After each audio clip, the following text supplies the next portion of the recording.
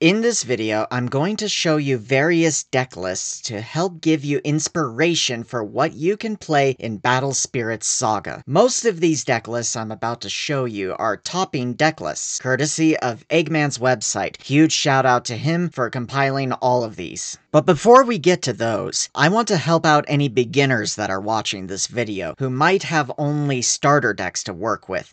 So, Boom! What I'm showing you right now is a deck you can make with just two red starter decks. If you want to take a screenshot, quickly pause the video because Boom! Here's one you can make with two purple starter decks. Here's one for just two white starter decks. And here's one for just two yellow starter decks. These lists should give you an idea of what each color is like, and hopefully give you a fighting chance against other players. Now, with that out of the way, Let's talk about competitive deck lists. Starting with red, there's basically two ways you can go. Terrorsaurs and Zigworm Nova. Pterosaurs is arguably the best deck in the Dawn of History meta right now, and is very straightforward when it comes to what the deck looks like. This is primarily an aggro deck that plays a bunch of spirits and tries to go face, but can play past the early game with the help of Gigano Rex. This one doesn't play the TP promo Sortosaurus, but if you have any, you can easily include it into the deck. As for Zigworm Nova, this deck has hasn't been doing nearly as well since the launch events, but is still a solid rogue deck. The game plan is to gather the three combo pieces of regular Zigworm, Zigworm Nova, and Big Bang Energy, and overwhelm your opponent with Nova's effects. This particular list happens to play Baculus to further combo with Nova to help kill more spirits with its level 2 effect. We'll now move on to purple. This one is kind of weird to talk about when pinning down different deck lists because because they all have very similar shells. For a while, most purple decks have looked something like this. You have a bunch of solid early game cards like Beldegor,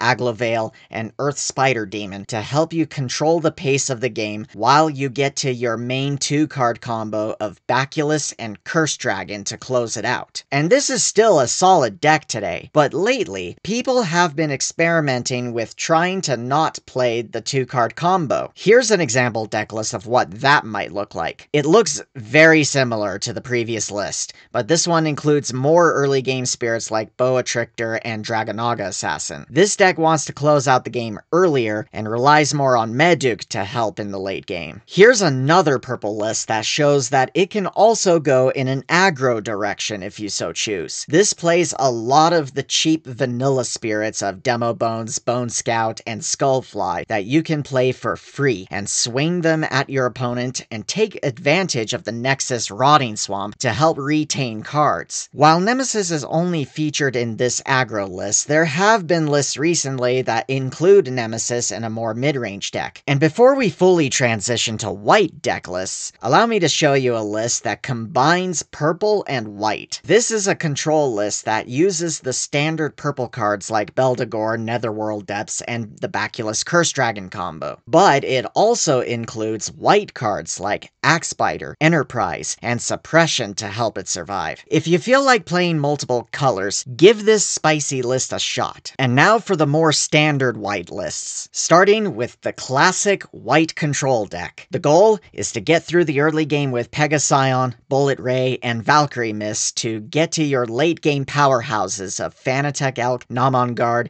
and Enterprise. One of the more infamous combos that you should be aware of when playing with or against this deck is how Fanatec Elk interacts with Ice Shield. If you lose only a single life, then use the burst effect of Ice Shield to regain that life and end the battle step. Fanatec Elk's second effect will still trigger. I explain it in more detail in my rulings video if you're curious. Another version of the white control list that's gained traction recently is this more magic heavy deck list. The idea is you rely on a more reactive game plan. With the help of Infinity Mothership, you can retain cores to play magic cards during the opposing battle step and use cards like Suppression, Regain, and Holy Elixir to surprise the opponent and kill their spirits. This is a deck that requires you to have access to multiple copies of Axe Spiders though, so it might not be the most accessible deck list. But if you're fortunate to have Axe Spiders,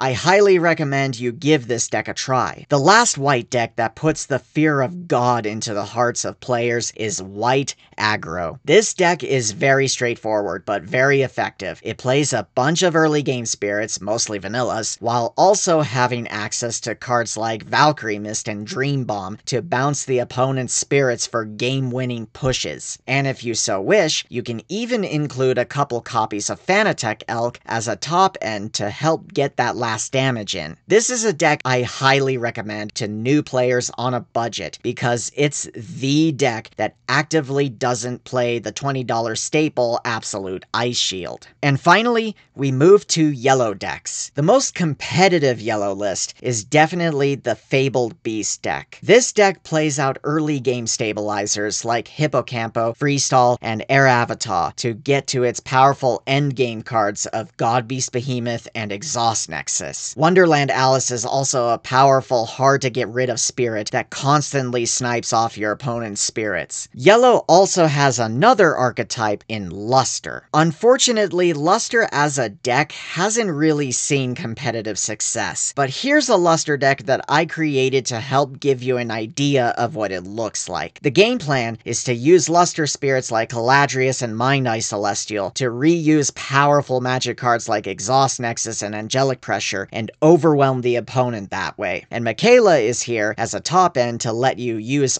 all of your magic cards for free. I hope this video helped you. If you liked this video, hit that like button and subscribe for more Battle Spirits Saga content. Until next time, laters.